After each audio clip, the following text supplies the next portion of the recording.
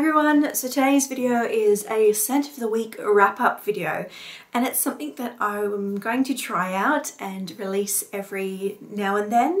The idea is that hopefully I can release one of these videos weekly and it is a summary or a wrap up of all of the perfumes that I've been wearing in the week before filming. So in this case, there's eight perfumes that I've been wearing over the last week, but sometimes there may be less, sometimes there may be more, just depends on what I've been doing.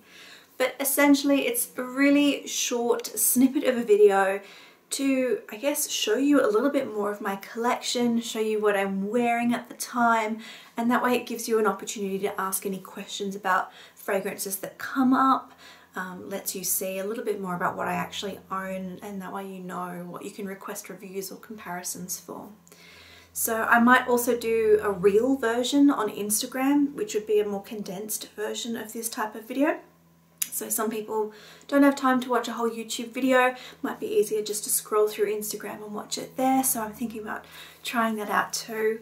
But let's get into this week's Scent of the Week wrap up.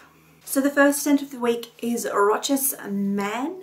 Now what I'll do with each of the scents in this type of video is quickly flash up the notes here in an image for each of the perfumes.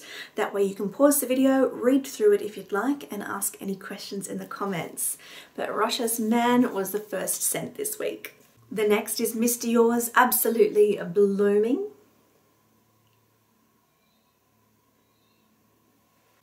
Following that is Prada Candy Night.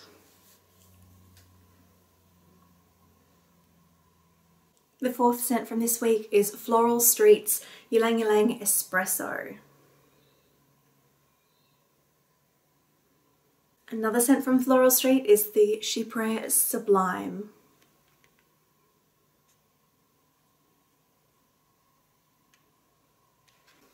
Towards the end of the week, I was wearing Glasshouse Tahaa Affair Devotion.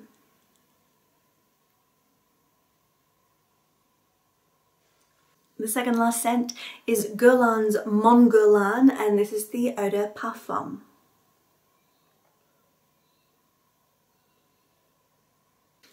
And the last scent from this week is a Britney Spears fragrance, Private Show. So that's it. That is my Scents of the week wrap up video. If you have any questions or comments, please feel free to leave them below. If you want to check out the Instagram reel, that will be up soon as well. So let me know what you think. If you like the idea of this type of video, the next one might be a bit shorter because I won't need to explain what I'm doing. It'll just jump straight into it. Um, just a really condensed version of what I'm wearing. So hopefully it's something fun, something short, something easy, something you know that we all enjoy watching I guess. I really like these types of videos so hopefully you do too. Like always if you have any questions or comments leave them down below and I hope you're all having a fantastic morning, afternoon or evening, whatever it is, wherever you are. And I'll see you in my next video. Bye for now.